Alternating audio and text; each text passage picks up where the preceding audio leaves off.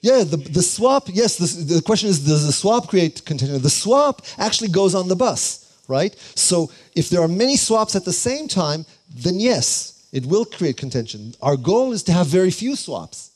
Okay? So what's going to happen here is, right, that every time that a thread wants to go into the critical section, it'll perform one swap, and that's it. After performing one swap, I'm in the queue and I'm just waiting for the value to change, right? And so I'm not generating multiple requests like I did before, but just one. And that's the win here.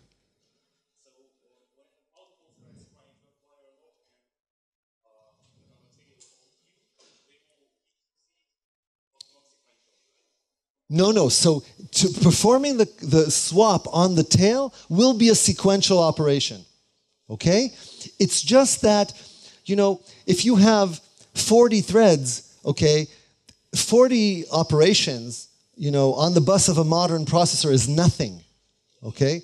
4,000 is interesting. 40,000 is a problem. Okay? So that's where you win here. Okay, so great. And so the moment the guy releases, by writing this copy, the cache of this guy will be updated and then he can go into the critical section. And there's not going to be a lot of interconnect traffic because only one guy was looking at this location, this one. Okay? Good. And, you know, and when, yeah, and, and so, and then it'll be released. And once it's released, again, the tail will point here, and this is what the situation will look like.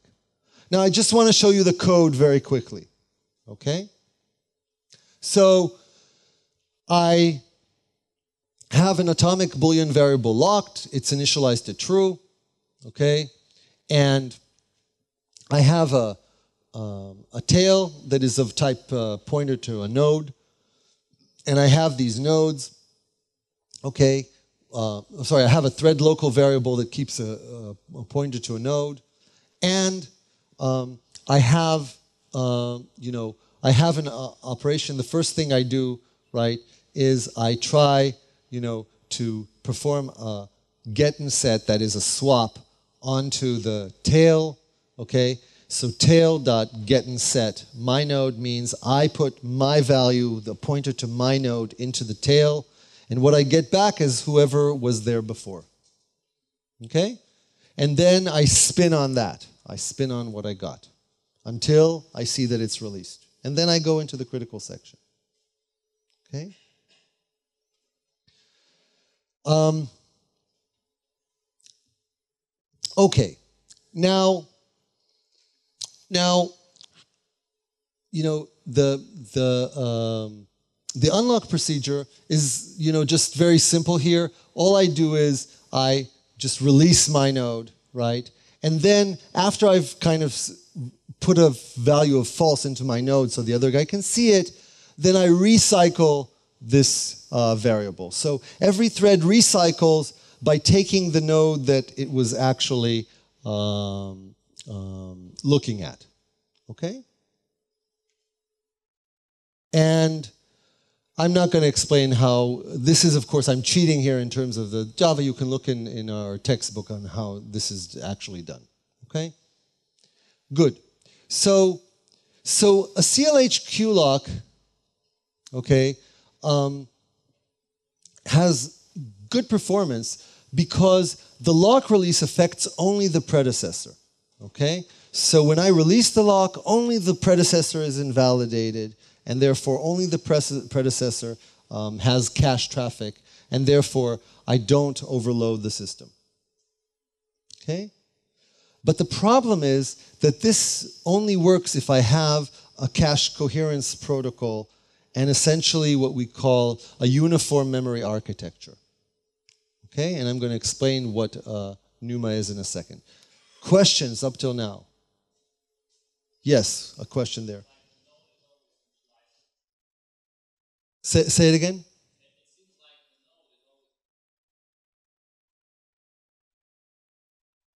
So, um, no. So when you create the node, you create the node with true so that when you insert it into the list, whoever's looking at it will be locked out. It, it is set to false when you release it.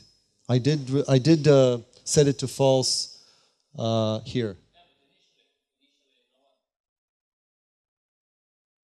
Initially, it was created as true.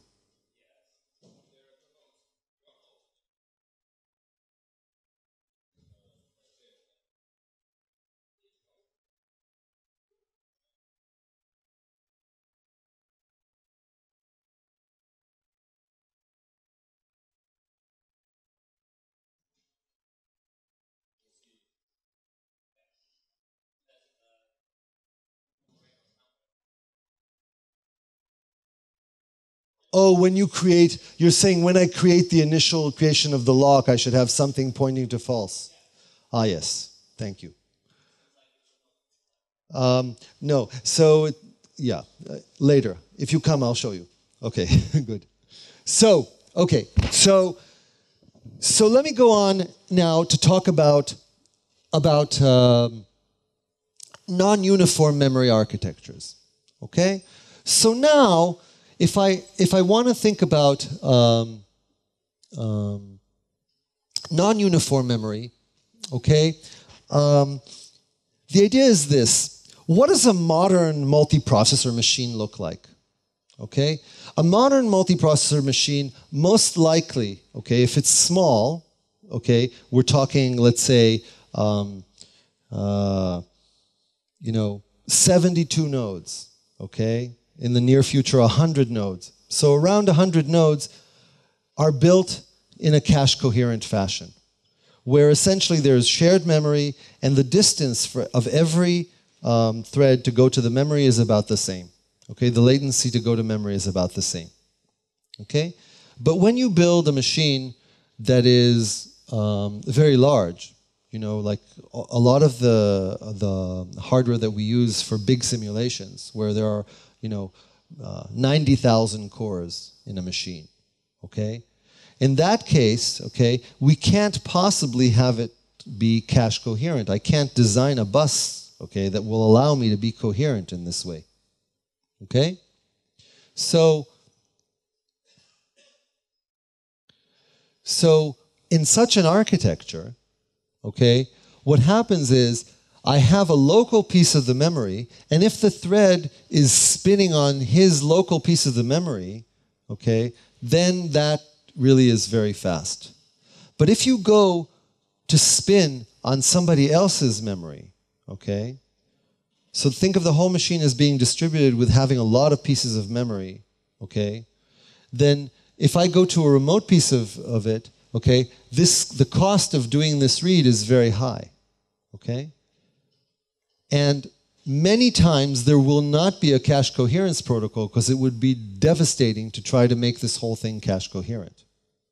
Okay? And so if you think about these, this kind of non-uniform memory architecture, okay, then typically, you know, if you used a, a CLH lock and it tried to spin on a, you know, on a remote piece of the memory and there wasn't a cache coherence protocol, then it would be generating a lot of traffic and it would defeat the whole design of this lock. And so I want to design a lock that will fit with an architecture whether it is NUMA or not. Okay, so I don't have to know if what I have is NUMA or not. I just want an, a lock that will work for all architectures. Okay, and this lock is what's called the MCS lock. This MCS design uh, by Mellor-Crummey, and Scott um, is actually um, you know the kind of architecture lock architecture that you will find um, most prevalent okay? So like for example in java the lock that is built into the java language is a version of an mcs lock okay? Yes when you do synchronize in java okay it's it's an mcs lock okay um, it's a little bit more complicated than that, but, but the basic design is MCS. Okay? Um, all right. So um, MCS will give first come, first serve, spin on local memory only, and small constant size overhead, whether the architecture is cache coherent, NUMA or not. Okay? How does it work? we're going to modify the design of CLH just a little bit. Okay? Each node now is going to be a flag bit and also a pointer. Okay? And initially the pointer is null. If a thread wants to acquire the lock, it creates a node. Okay? Puts the value true here, just like we did in CLH. Okay? And now it's going to do the swap. Okay? And the swap now, okay, I get the value of the guy before me, the tail points to me, okay, but now what I'm going to do, right, I don't want to, you know, I don't want to spin on this record because this record could be very far away from me. Okay? So I really want to spin on my record because I know my record is in my memory. So what I'm going to do is I'm going to put a pointer, I'm going to redirect a pointer. Once I know who the guy before me is, I'm going to redirect a pointer from him to me so he knows where I am.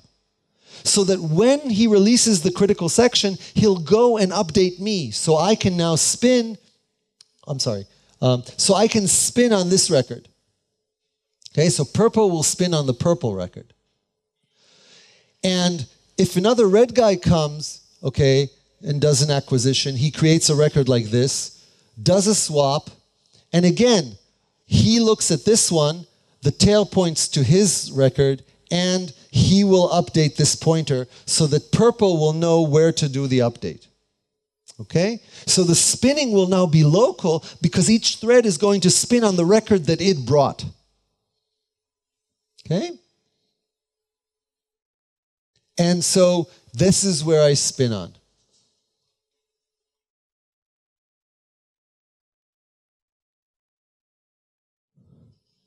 When the purple guy releases, he's going to follow the pointer and update this record. Yes. I, am going to show the code and you can see that there's not a race. Okay? Yeah. Okay. And so now he can, re- he can uh, go in. So here's the design of the MCS lock. Okay? So I have a variable, a boolean, in, in each node now I have a locked value and I have a next pointer. Okay? And what I do to, to, do a, to do a lock, here's what I do.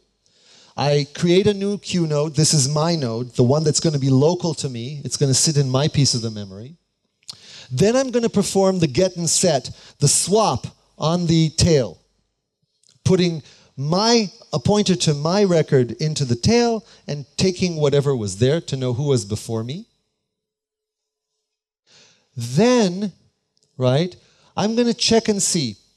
If the guy, if there was nobody before me, right, that is the queue was, um, sorry, if the queue was not empty, there was somebody before me, okay, so pred not equal null, okay, then I set my node to true. I'm preparing it so that somebody knows the whoever you know uh, is. So I can't go in now, and whoever is going to update me will have to change this to false and I go to the guy before me and I point him to my node. This is the setting of the pointer to lead the guy before me to my node so that he can update this variable. Okay? And then I spin. I spin on my node, qnode.lock, that is my node's locked variable. Okay? Now, so that's my lock procedure. To release the lock, okay, to release the lock, what I do is this. I have to check and see, you know, if I see a successor, okay? Now, here's the thing. Remember, for every guy, I have a, uh, the purple guy, there's a pointer here, okay? This pointer might lead to somebody that I have to update when I leave, but maybe there is no such guy. Maybe there is no guy here. Okay? How can I find out if there is somebody there or not? The only way to find out is by actually looking at the tail pointer, right? If the tail pointer is pointing to me, then there's nobody there. If the tail pointer is pointing to somebody else, then I know that I have to go release somebody, right? Okay. Who do I have to release? How do I find out who it is that I have to release? I have no way of knowing. I have to wait. I have to wait for them to tell me. Okay? So this is a little bit tricky here in the Q lock. Okay? I'm actually relinquishing my ability, you know, to move forward by myself. I have to wait for the other guy. I want to leave, but I can't really leave. I have to wait for them to update me. Okay? But still, this lock really delivers really beautiful performance. So let's just look at the code for this because it's a little bit tricky, um, the, the code for releasing. Um, so oh, this is just the update. I prepare to spin, I, I spin on this thing, then he releases me by updating my record. Okay, so here's the code for that. So um, to unlock, this is the unlock code, okay? What I do is this. Um, I look at qnode.next, okay, and I see that it is null, okay? So I'm, I, I see that nobody's updated me that there's somebody to release. So now I have to check to be sure that there's nobody to release. Okay? So what I do is I look at the tail, okay? And I look at the tail in the following way. I use a compare and set operation. How many people know what a compare and set is? How many people don't? Okay, everybody does. So we're good. So I do a compare and set or compare and swap, right? Setting Q node to null. So what I'm doing here is I'm checking to see if it's pointing to me, and if it's pointing to me, I set it to null. So I am in one atomic operation, right? Checking whether or not I'm the last guy, and if I am, I'm completely putting a null there to disconnect, right? In one shot. And and then, right? Um, and then what I do is, right? If if the situation was that I failed this, right? Then I um, wait right? Until somebody updates my pointer. So either I, either, the, either I succeeded in the compare and swap, I was the last guy, so I put a null there and I go home, or I wasn't the last guy, I failed the compare and swap, and therefore I have to spin here waiting for this uh, other guy to tell me where he is so that I can update him. And once he does, then I just put false there, and now he can go in and I can leave. Okay? Did this help uh, with the? Um, it, yeah, yeah. Okay, cool. Good. Um, so, questions about this? Yes.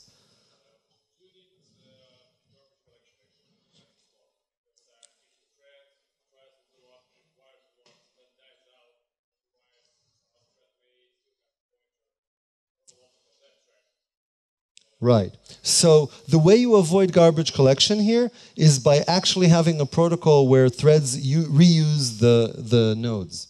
Okay, so just like I said about the CLH lock, I can also recycle the nodes, right, so that everybody just reuses their node, and that's how I do it.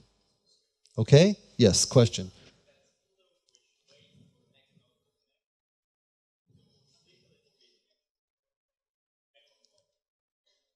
So were you, we want to use this kind of a lock when we are expecting the other guy to release the critical section quickly, right?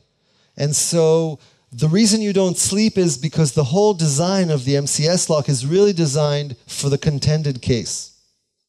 Okay?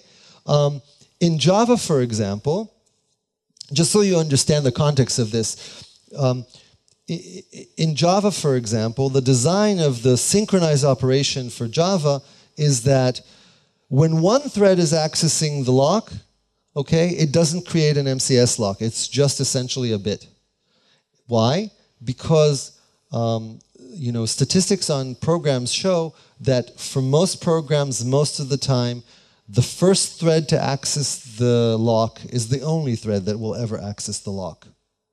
Okay? It's kind of a funny thing, but that's how it is. Okay? So when one when more than one accesses the lock, we expand it into an MCS lock. In which case we are expecting threads to finish up quickly. Okay? Because it's going to be a contended lock. So that's the kind of situation that we have here.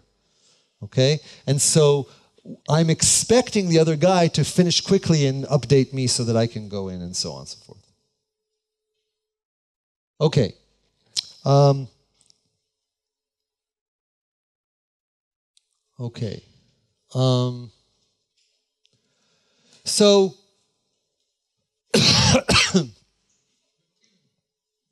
was, is there another question? Yes.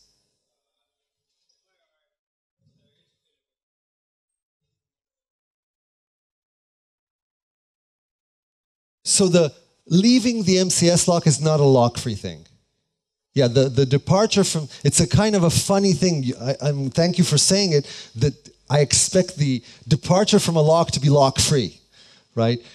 Uh, but we understand what you mean. You mean that basically once I want to leave, I can leave easily, right, without essentially being delayed by other threads, and that is not the case here. So I am dependent on other threads when I want to leave the lock. So this is a property of the MCS lock. I agree. Okay. Good. That question actually leads me to the next uh, uh, lock that I want to talk about. And this is an abortable lock. Okay? So, what if you want to give up waiting for a lock? Okay?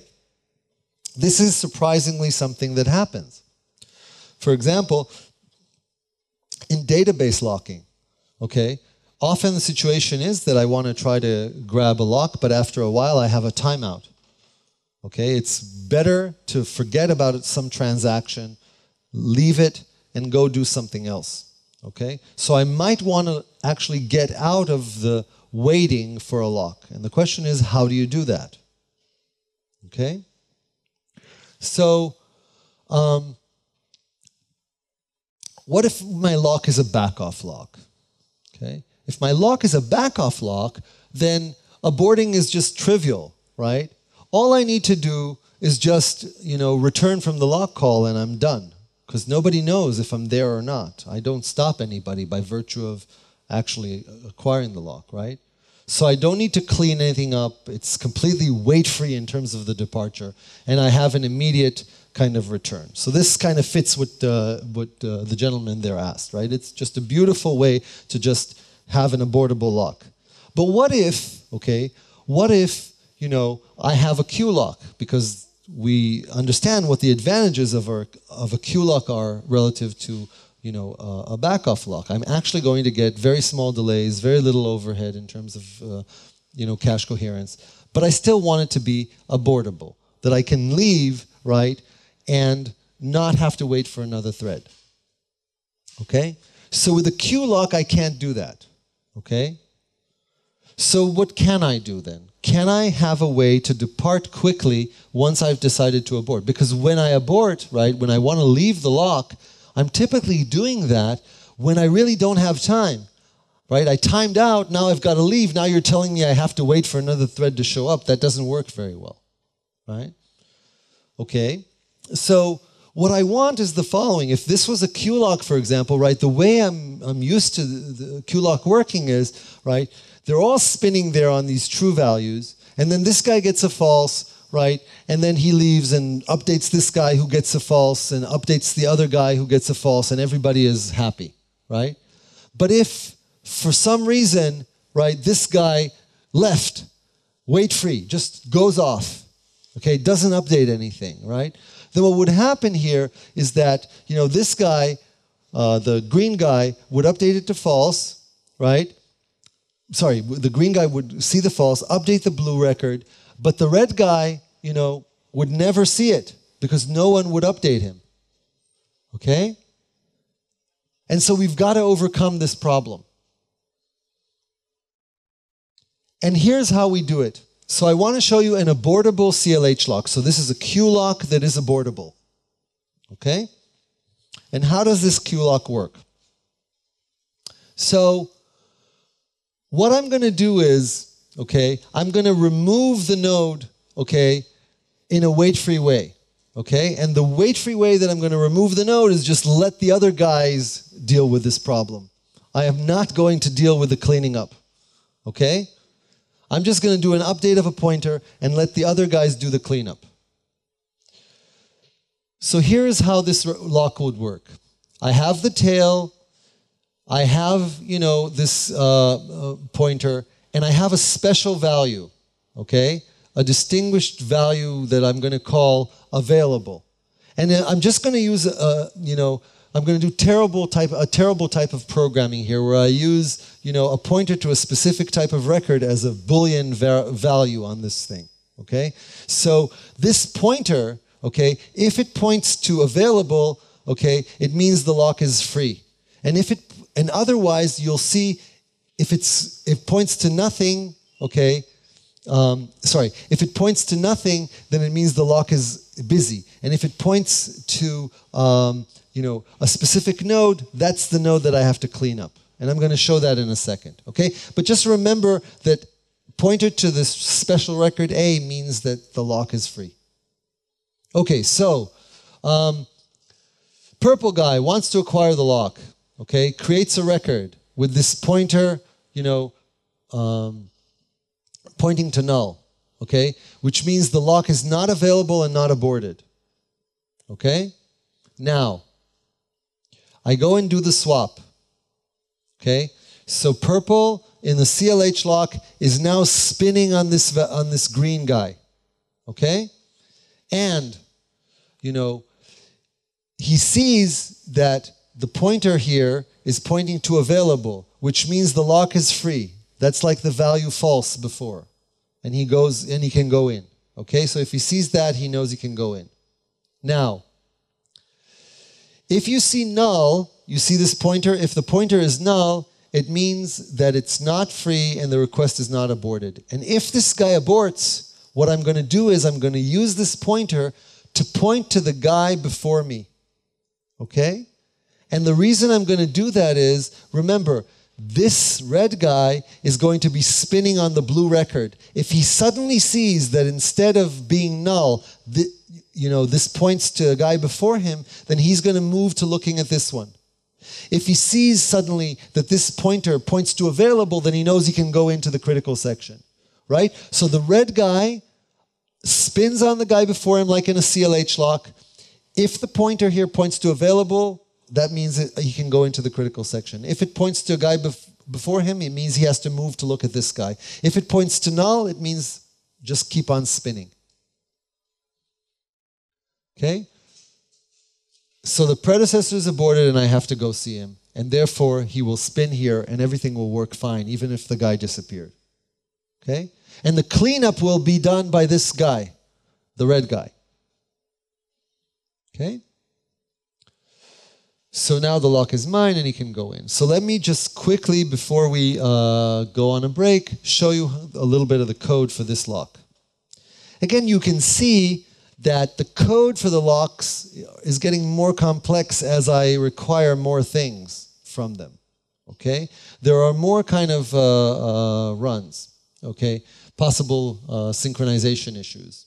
So, um, so here's uh, you know here's uh, my record, this special record available, okay, and um, I have a tail pointer and I have a local pointer to my node. And in order to do a lock, okay, and by the way, I have some kind of timeout on this lock, right? Because I might want a timeout. And what I do is I create my local node, right? Um, I update the my my local record, and I set the uh, uh, you know the pointer to the possible guy before me to null.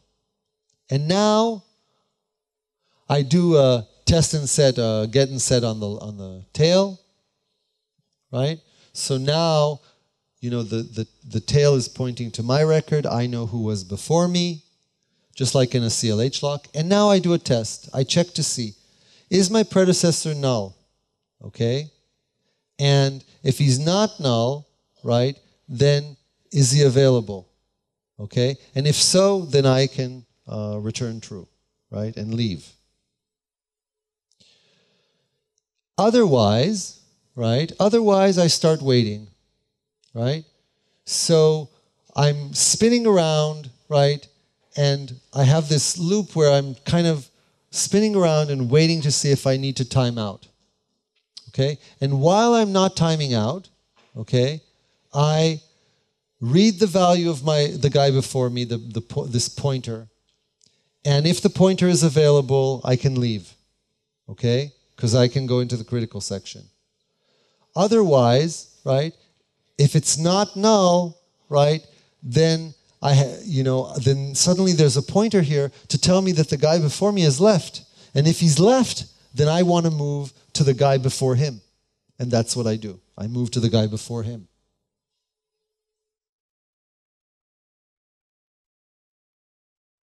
Now, just like in the uh, in the uh, MCS lock, what do I do when I time out? Okay, now I need to synchronize. Okay, uh, I need to do a little bit of synchronization. So think of it like this. Okay, if I'm going to leave, I I have to tell somebody that you know that I'm leaving.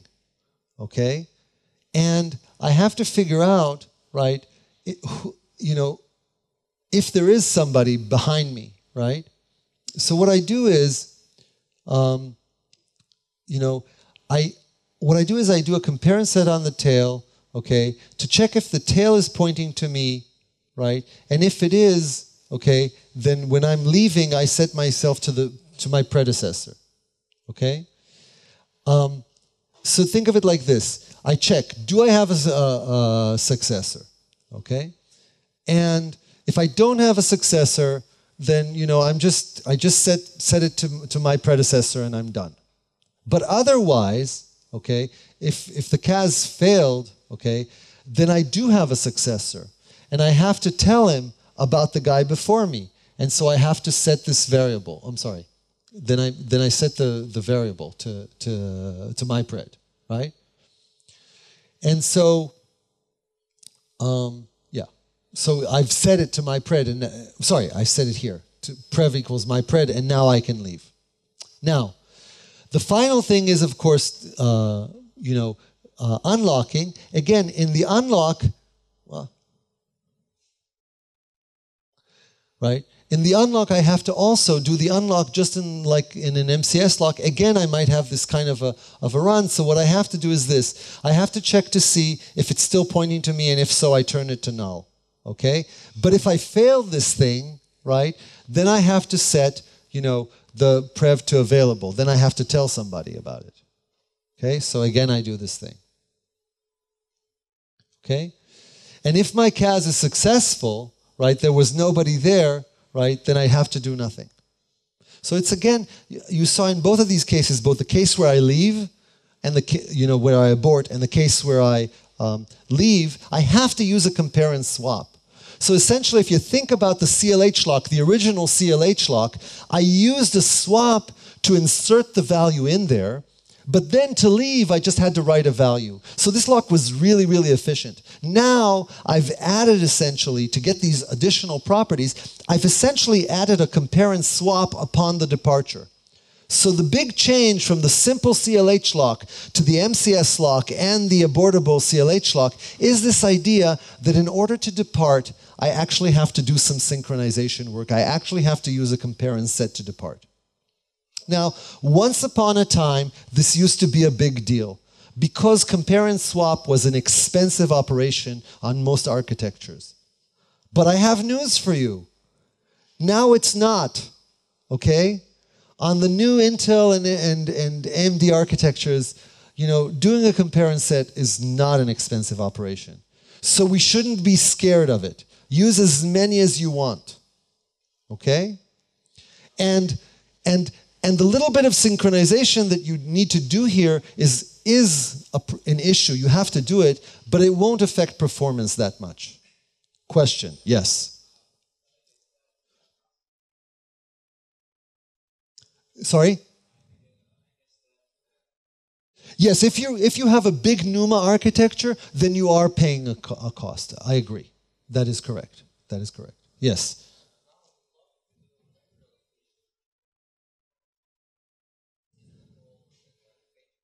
When when yeah yes Well, I do the allocation only once, right? So I do the allocation once per um, lock. And in fact, I can take the node. Let's say that, that in my code I lock three locks. Then I have to allocate three nodes, and I can use these three nodes repeatedly throughout. You see what I'm saying? You don't have to allocate new ones every time.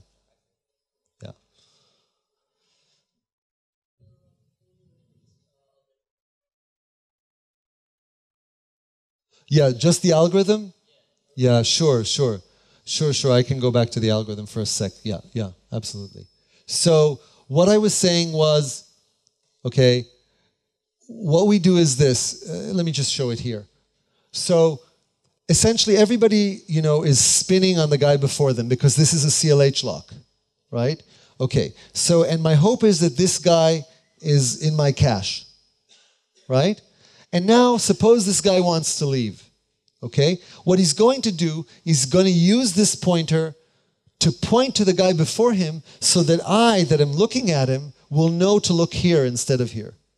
Okay? So what he does is he updates the pointer here, and when the red guy sees that this pointer is not null, he knows to follow it and start spinning on this record.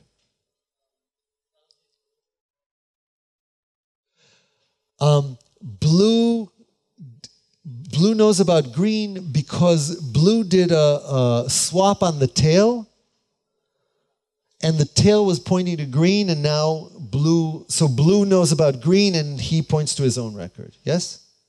Yes? Okay, great. So I think, let me just take a look here. Uh, um,